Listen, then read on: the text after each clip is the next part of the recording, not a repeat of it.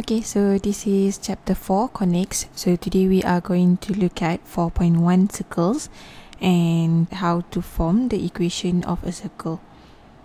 Okay, so basically in equation of a circle we have two kind of equation. We can have a standard equation and then we have a general equation as well. So if this is the circle, then if this is your center, then that means the distance from center until over here until your x and y. So this is what is known as the radius.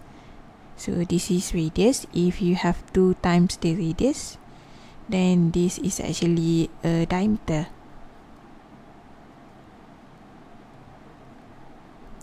Okay So standard equation, we have x minus h square plus y minus k square equal to r square. And then to calculate the radius, you simply take this value, take the square root of this r square to get the value of r. And then the center, we're going to get them from the h and the k. So those are our center. If we have a general equation of a circle, the equation is x square plus y square plus 2gx plus 2fy plus c equal to 0 in order to find the radius we have to know what is the value of g f and c first. And then you simply do g square plus f square minus c. To to find the center we simply do the negative g and negative f and that will become the coordinate of the center. Okay so let us look at some simple example.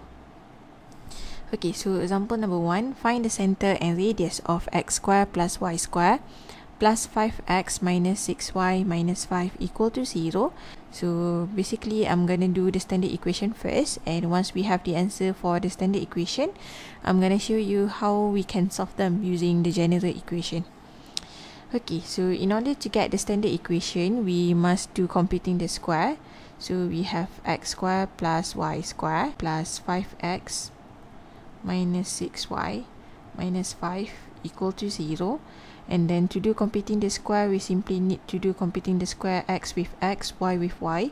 So we rearrange everything. So x square plus 5x plus y square minus 6y minus 5 equal to 0 and then we're going to do completing the square for the x and completing the square for the y.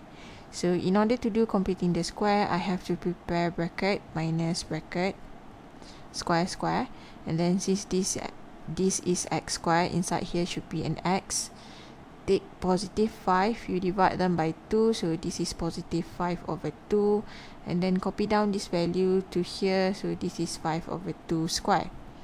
And then plus so another completing the square for the y bracket square minus bracket square.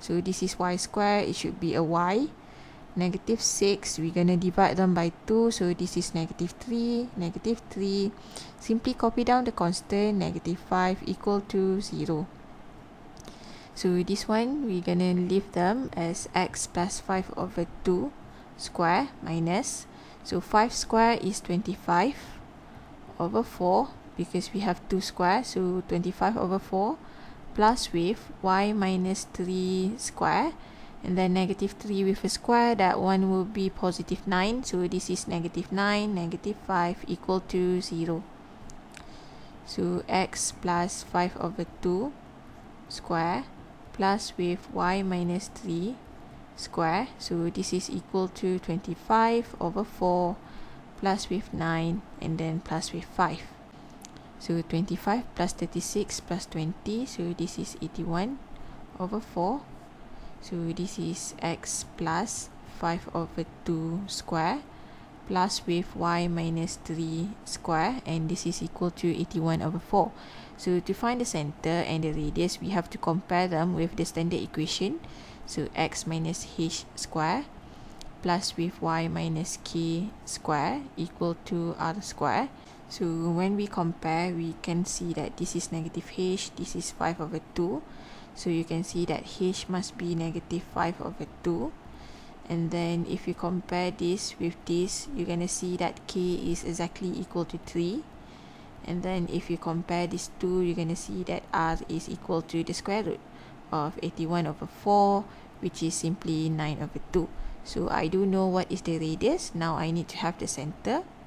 So center is h and k.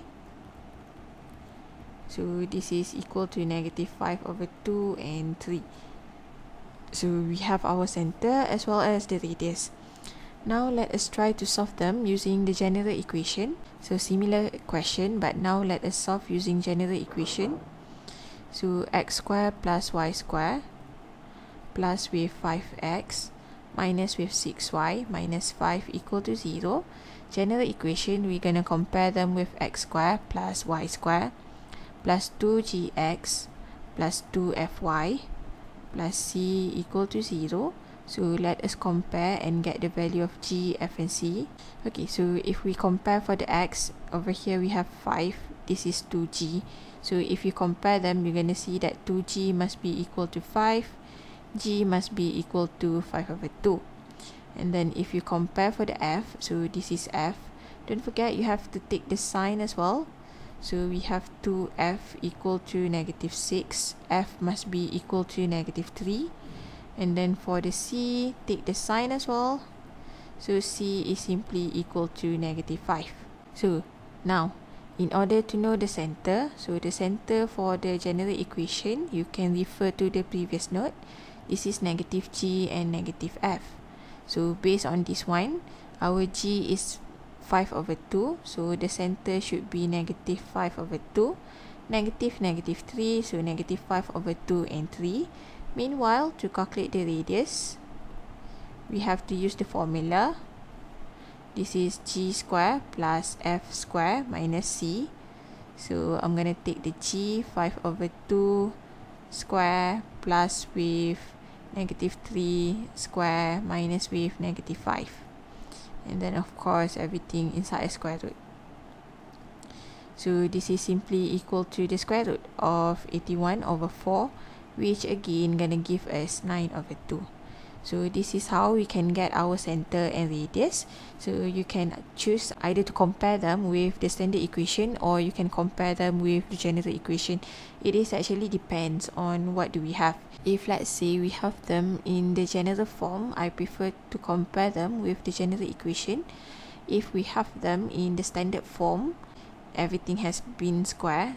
So i prefer to compare them with the standard equation okay so i'm to see you in the next example